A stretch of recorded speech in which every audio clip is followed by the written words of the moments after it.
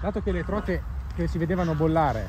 non mangiavano, sembravano essere particolarmente indolenti, proviamo a scendere più in profondità, quindi lasciamo scendere la nostra lenza fino sul fondo per recuperare poi in maniera molto lenta,